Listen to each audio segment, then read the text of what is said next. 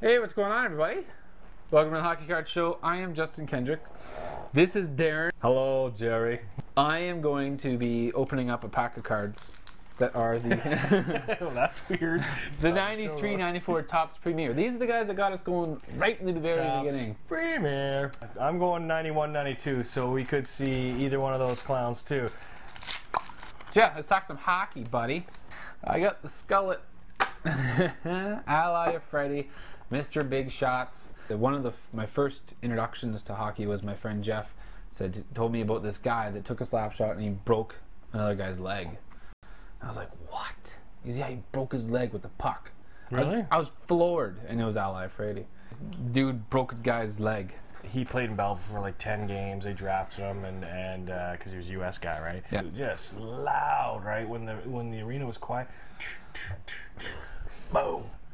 It's wild, eh? I used to not like Steve Larmer Are you serious? because of NHL '94. I don't like I the used to Blackhawks. slaughtered all the time, and for whatever reason, I'm like, "Ah, I freaking hate Steve Larmer. Oh, he's solid, solid. But yeah, Calder Trophy winner, Canada Cup winner. I think I told you I went to college with him.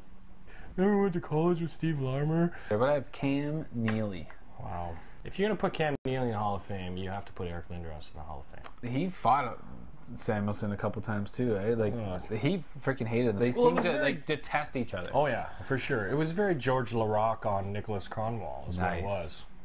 Who am I gonna throw? I'm gonna throw Steve. I haven't thrown in a long time. You you hate me that I don't like Steve. I throw overhand. Oh.